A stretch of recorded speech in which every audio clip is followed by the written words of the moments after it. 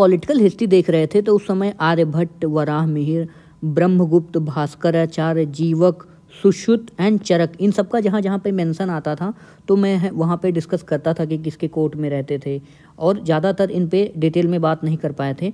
लेकिन आर्यभट्ट के बारे में और इन सब के बारे में देखते हैं हम लोग एक एक करके आर्यभट्ट का टाइम पीरियड हमें पता है कि चंद्रगुप्त सेकंड के दरबार में रहते थे राइट ये इनकी फ़ोटो भी लगी हुई है, देख सकते हैं। गुप्ता काल में इनका जो टाइम पीरियड है, वो थोड़ा कंटेस्टेड है।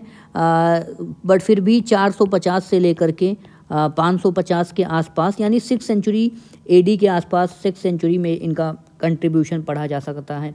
फिफ्थ सेंचुरी में भी तो हालाँकि कई लोगों के डिफरेंट व्यू हैं बट हमें जो लार्जली पता है कि ये नौ रत्नों में से एक थे, जो चंद्रगुप्त सेकंड के दरबार, चंद्रगुप्त, गुप्त, चंद्रगुप्त जो गुप्ता काल के थे, उनके दरबार में रहते थे राइट मैथमेटिशियंस एंड एस्ट्रोनॉमर थे, ठीक है? एस्ट्रोनॉमी पे इनका काम है मैथमेटिक्स पे। इनके जो काम है नोटेबल वर्क है आर्यभट्ट का नाम हमेशा सबसे पहले लिया जाता है, इसलिए मैंने इनको कवर किया है।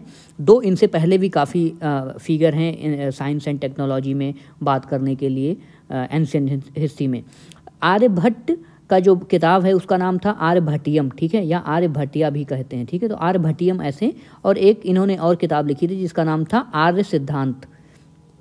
इनका जो व्यू था, इनको लार्जली इसलिए याद किया जाता है, क्योंकि इनका हेलियोसेंट्रिक व्यू था। हेलियोसेंट्रिक का मतलब कि जो जितने भी प्लेनेट हैं, वो सूर्य के चारों तरफ़ चक्कर लगाते हैं, और यही बात बाद में कॉपर निकस लगभग एक हज़ार साल बाद ये बात कॉपर निकस कहते हैं।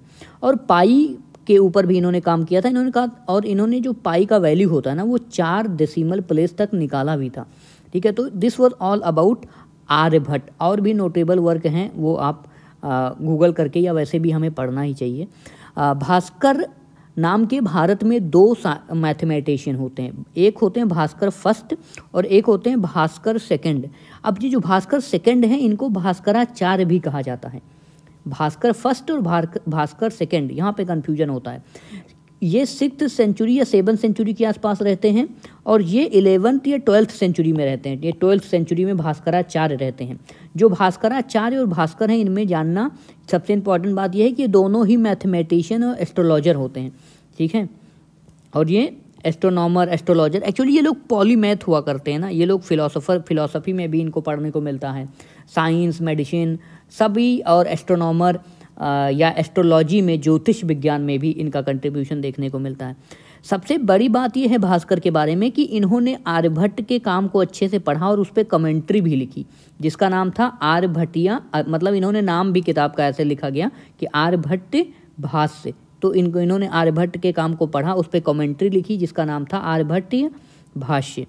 और भी इनके कुछ काम हैं, जैसे महाभास्करिया और लघु भास्करिया तो महा मतलब बड़ा, लघु मतलब छोटा। तो महाभास्कर और लघु भास्कर भी इनका काम है। इन्होंने मेन काम किस पे किया था? भास्कर ने, ठीक है? भास्कर फ़र्स्ट ने डेसिमल सिस्टम के बारे में, जो डेसिमल सिस्टम के बारे में इंडिया में जो भी मैथमेटिशियन प्राचीन काल में सबसे ज़्यादा फ़ेमस है, वो है भास्कर।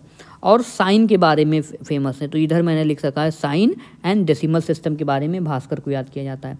जो भास्कराचार्य हैं, जो ट्वेल्थ सेंचुरी में आते हैं, वो भी मैथमेटिशियंस रहते हैं और इनका एक सबसे नोटेबल वर्क है, जिसको कहते हैं सिद्धांत शिरोमणि। ये काफ़ी इंपॉर्टेंट किताब है। सिद्धांत शिरोमणि किसने लिखा था? तो भास्कराचार्य ने लिखा था, या फिर भास्कर सेकेंड ने लिखा था, जो ट्वेल्थ सेंचुरी में रहते हैं। इसके बाद सबसे इंपॉर्टेंट फिगर जो प्राचीन भारत में हमें देखने को मिलता है, वो है वराह मिहिर का। वराह मिहिर का नाम आते ही हमें ये दिमाग में आना चाहिए कि जो प्राचीन समय में वराह मिहिर एक ऐसे व्यक्ति थे जो रोमन, ग्रीक और इजिप्ट की एस्ट्रोनॉमी पर भी काम करते थे, ठीक है? तो ये ये भारत से बाहर की जो भी दिशा हो गई ना, ग्रह नक्षत्र के बारे में भी ये पढ़ते थे। तो भारत से बाहर इसलिए इनको पढ़ना ज़्यादा इंटरेस्टिंग होता है वराह मिहिर के काम को। 550 सी या सिक्स सेंचुरी एडी के आसपास रहते हैं एस्ट्रोलॉजर होते हैं ये। ये मतलब इनको, क्या कहना कहना चाहिए? ज्योतिष शास्त्र, शास्त्री भी होते हैं। देखो, बाकी लोगों में हमने देखा वो मैथमेटिशियंस या एस्ट्रोनॉमर थे। एस्ट्रोनॉमी मतलब जो स्पेस वगैरह में यूनिवर्स के बारे में पढ़ते हैं। लेकिन ज्योतिष शास्त्र में सबसे ज़्यादा नाम जो आता है, वो है वराह मिहिर का। ऐसा माना जाता है कि जो गुप्ता काल में यशोधर्मन, मालवा, ये सब हम लोग, लोगों ने देखा है ये। तो उन्हीं के दरबार में रहते थे। हालाँकि कंटेस्टेड है बट ऐस वही टाइम पीरियड है आसपास का, मालवा के रीजन में, अवंती के रीजन में, उज्जैनी के रीजन में रहते थे ये। इनका जो सबसे इम्पोर्टेंट कार्य है, वो है पंच सिद्धांत और बृहत संहिता।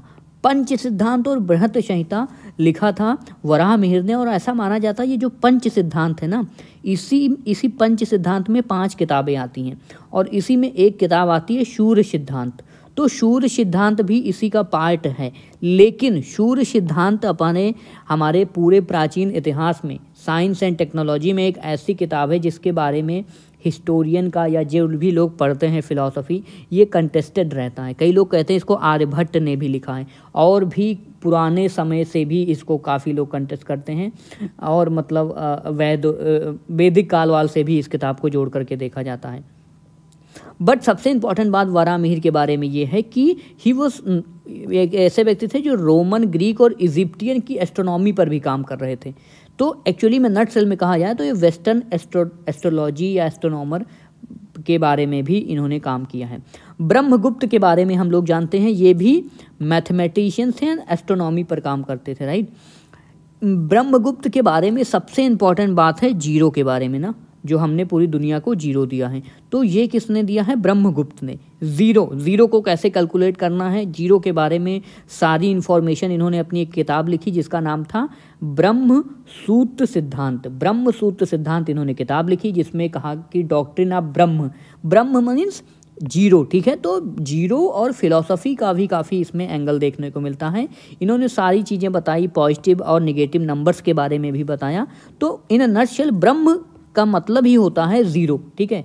मतलब ये फिलॉसफी के पॉइंट ऑफ़ व्यू से ब्रह्म ज़ीरो का काफ़ी बड़ा फिलोसफिकल एक्सप्लेनेशन है कि सब कुछ उसमें समाया हुआ है। तो आप, इनका नाम भी पढ़ करके आप जान सकते हैं कि ज़ीरो किसने दिया? ब्रह्मगुप्त ने, क्योंकि इनके नाम में ब्रह्म लगा हुआ है। Brahm means universe right and universe और ज़ीरो का भी वैसे ही वैल्यू होता है। जीवक जीवक मेडिसिन के बारे में अब हम लोग बात करते हैं। जीवक जो है बिम्बिसार के कोर्ट में रहते हैं। और फिफ्थ सेंचुरी बीसी यानी मौर्य काल में, ठीक है हम लोग मौर्य काल में नहीं, उससे पहले जो मगध अंपायर होता है, उसमें बिम्बिशार ठीक है, बिंदुशार नहीं, बिंदुशार मौर्य काल में आते हैं बिम्बिशार ठीक है, वो वाला हम देख रहे हैं, ठीक है, हरियंग डायनेस्टी की बात करें तो बिम्बिशार जो हरियंग डायनेस्टी का था, उसके कोर्ट में जीवक रहते थे, इनको मेडिसिन किंग कहा जाता है तो इनको जीवक भेजते हैं बुद्ध की इलाज करने के लिए, और जो अवंती के किंग होते हैं प्रदोत तो ये प्रदोत को एक बार पांडु रोग होता, हो जाता है जॉन्डिस हो जाता है। तो जीवक जाते हैं मतलब पर्सनल मेडिशन डॉक्टर होते हैं फैमिली डॉक्टर टाइप के होते हैं, ये भगवान बुद्ध को और अवंती के राजा प्रदोत को भी इलाज करते हैं जॉन्डिस का या पांडु रोग का।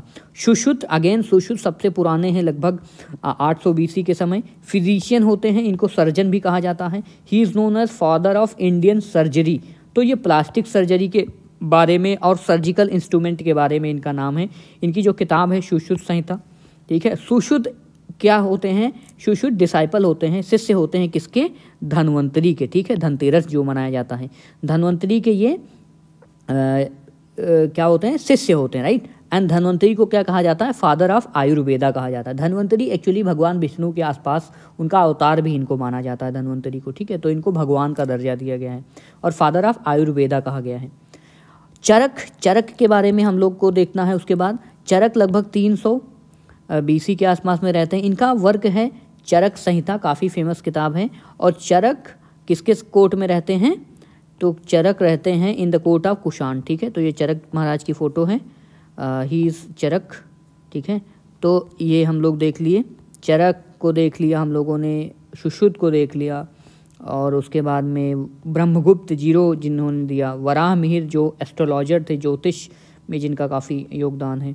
उसके बाद में भास्कर फ़र्स्ट भास्कर सेकंड को देख लिया।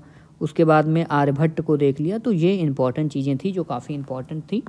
आई होप मैंने इसको अलग